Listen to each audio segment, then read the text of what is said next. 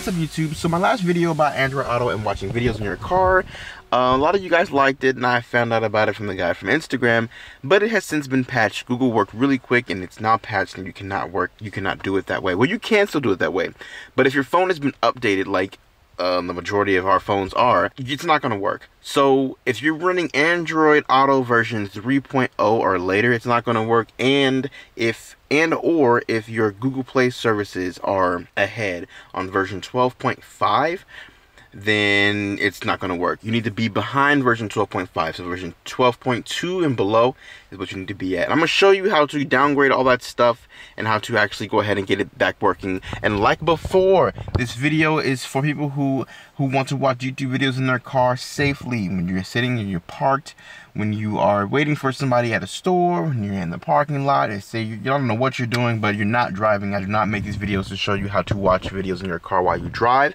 because that is irresponsible. So, I'm to go ahead and show you now I have my OnePlus 5T right here and that's what I always work with when it comes to these videos. So let's go ahead and get to the video. So like I said before, if you haven't seen the other video, you have to download the CarStream app. Download the CarStream app, you head to the link in the description. I don't have it pulled up right here. You head to the link in the description. I'll go ahead and, and pull up what the website looks like right here. Head to the link in the description, download the latest version. It's version, whatever it is, version 1.8.3. Download that version, and then now, since it's been patched, you have to actually go to either apkpure.com or APK Mirror.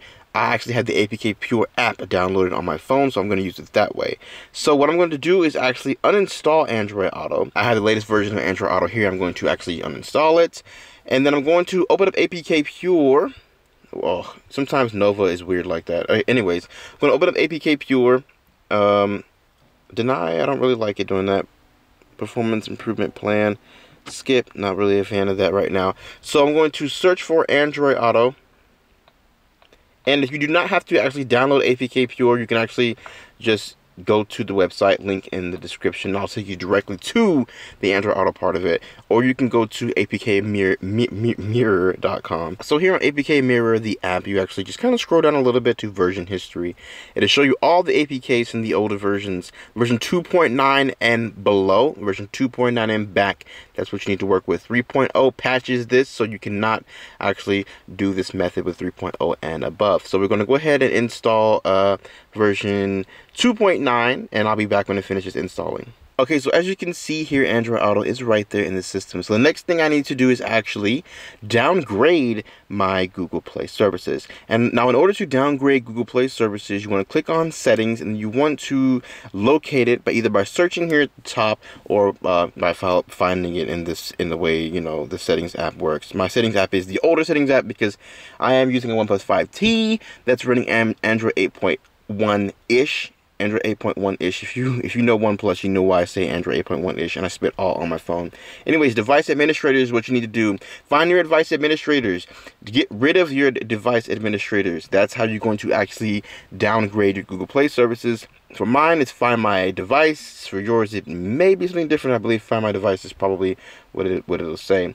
Now, go back into the settings. Why did I get out of it? Locate your apps boom apps right there. Go to your application list. Now you want to find google play services within the application list right there. And then you want to click on the, the three dots here and click uninstall updates. Uninstall updates. And it's going to uninstall the latest version of the google play services. So now as i scroll down here my version is now 11.9 i didn't get a shot of it before but it was trust me it was version 12.5 the version that we don't want.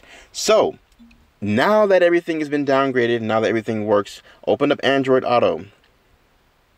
We're going to get started.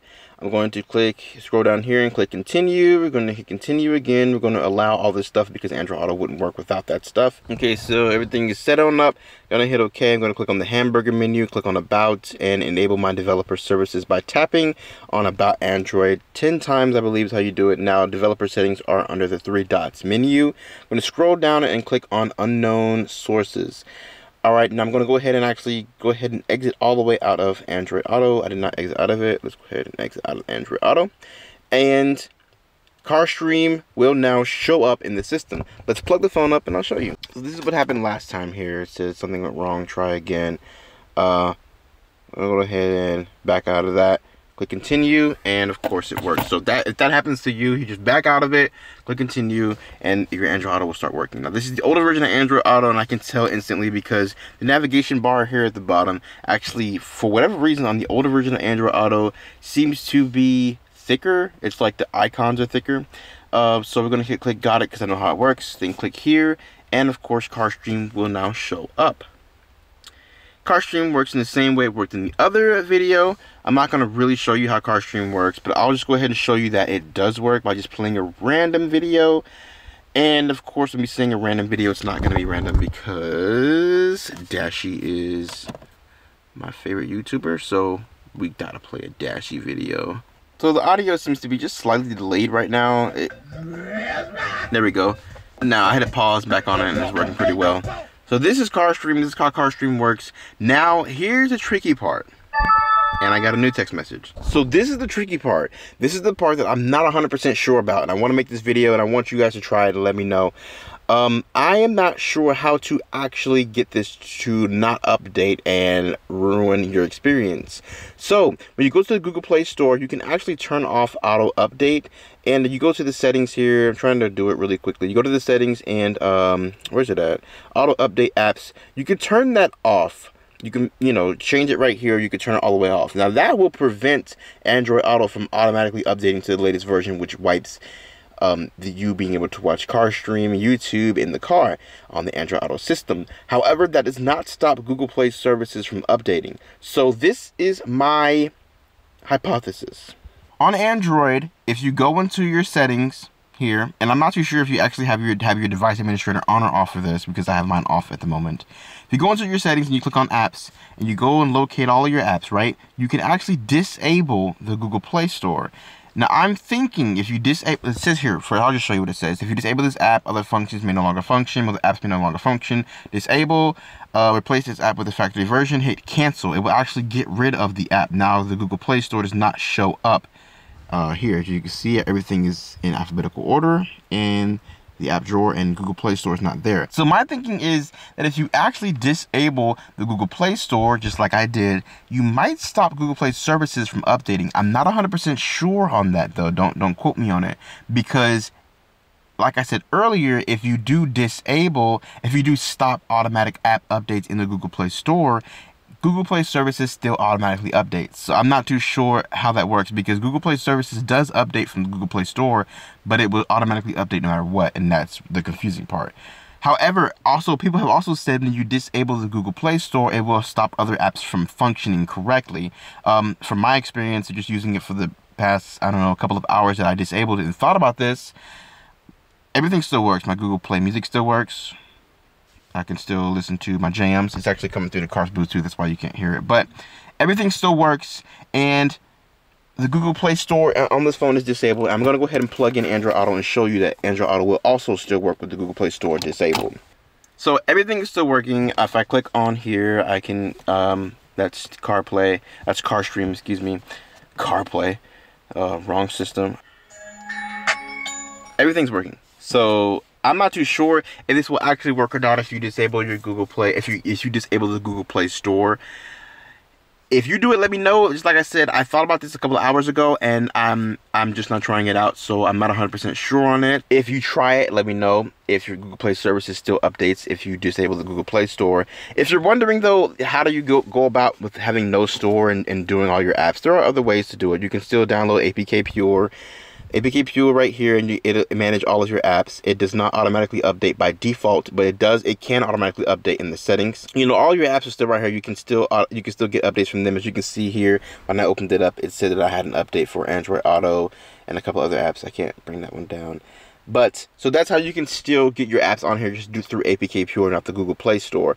So that's the video. You can still get CarStream to work in your car as long as you're running older updates for your Google Play services and the Android Auto app. If you do try the Google Play Store disable, let me know what happens in the comment section. If you, uh, you know, with an update, I will pin your comment so that everybody else can see it.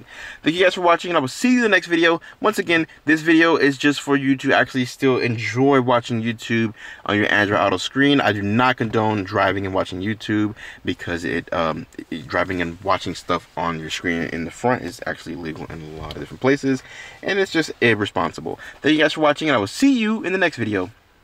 And just to go ahead and show you, since I didn't do it at the beginning of the video, I am actually updating the Google Play services within the Google Play Store.